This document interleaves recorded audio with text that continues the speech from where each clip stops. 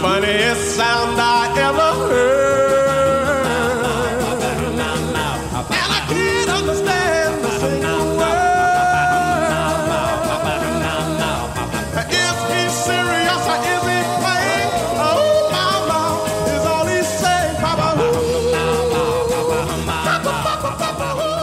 What do you think Marshall uh, McLuhan ought to do if he wants to be taken more seriously in the world today? Marshall McLuhan is taken far too seriously.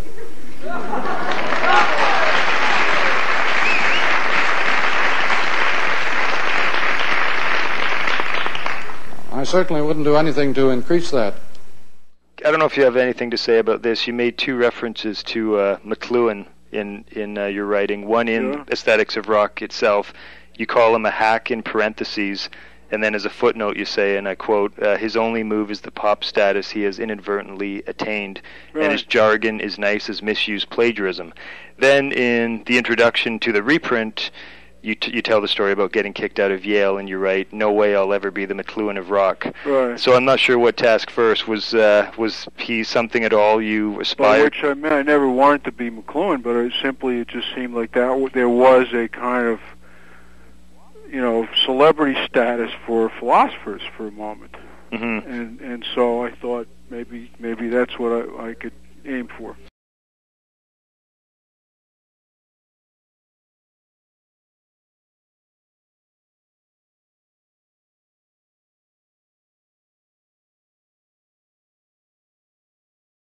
It's like it's funny though. I mean, I read.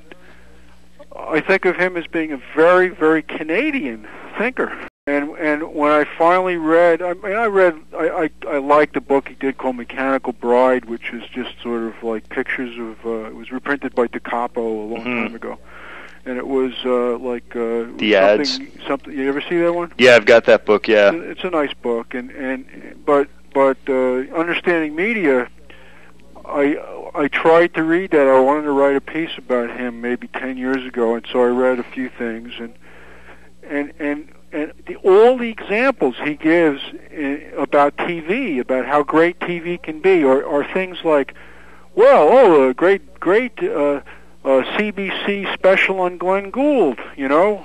Here at the Global Village, we get to see the making of a Glenn Gould concert, and like he's giving examples, uh, you know, th- you know, once in a lifetime events that would, you know, that TV could give a shit about Yeah. doing anymore.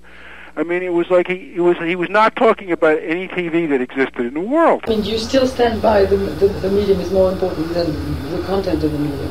Uh, of course, because because the medium is this huge change that takes place in the world. Right, It's the the program is not the change. right. Oh no, it's the huge service environment that that medium creates. It's like the highway. It's obvious the motor car it does very little, but the highway does an awful lot to people. Yeah, so Well, the motor car is very uh, minor compared to the highway and the factories and the oil companies.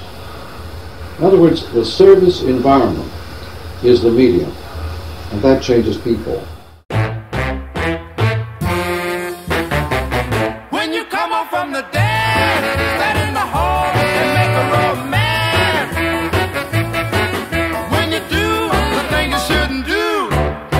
Peekaboo, I'm watching you. do the thing you shouldn't do, Peekaboo, I'm watching you. do the thing you shouldn't do.